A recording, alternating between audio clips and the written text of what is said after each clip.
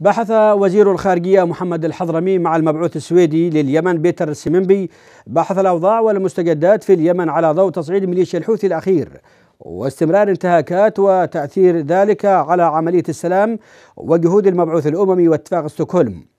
وأوضح الوزير الحضرمي خلال لقائه المبعوث السويدي أن الحكومة كانت ولا تزال حريصة على السلام وأنها قدمت الكثير من التنازلات والمرونة العالية من أجل دعم جهود المبعوث الأممي لا سيما فيما يتعلق بتنفيذ اتفاق الحديدة. لافتا إلى أن ذلك قوبل بتصعيد غير مبرر وانتهاكات مستمرة وتعنت متعمد من قبل ميليشيا الحوثي الانقلابية. وأوضح أن قيام الميليشيا الحوثية مؤخرا بقصف مدينة مارب بالصواريخ البالستية واستهدافها الإرهابي الجامع بمعسكر الاستقبال وللمدنيين في المدينة والتصعيد على مواقع الجيش في مديرية نهم بمأرب وأجزاء من محافظة الجوف. إن كل ذلك يثبت بما لا يدع مجالا للشك بأن هذه الميليشيا أن هذه الميليشيا أصبحت تستغل اتفاق الحديدة والتهدئة فيها وتستغل التهدئة في الحدود مع المملكة العربية السعودية الشقيقة استغلالا سيئا مما يفرغ اتفاق الحديدة من محتواه.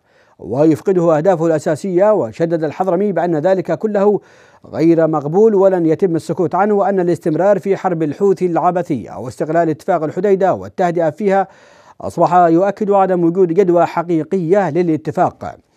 وجدد تأكيده بأن الحكومة الشرعية لن تسمح باستمرار هذا الخلل وأنها لن تقبل بأن يتم استغلال اتفاق الحديدة بدلا من تنفيذ بنوده وإنها وإنها وأنها تدرس حاليا خياراتها بالتشاور مع قيادة تحالف دعم الشرعية في اليمن أزاء هذا التطور الخطير.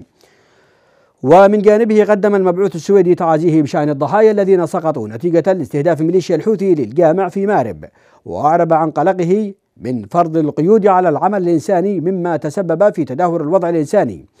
وعبر عن أماني في أن يشهد الوضع الحالي خفضا للتصعيد وأن يتم التوصل إلى سلام شامل ودائم في اليمن. حضر اللقاء المستشار مجيب عثمان مسؤول أوروبا بوزارة الخارجية.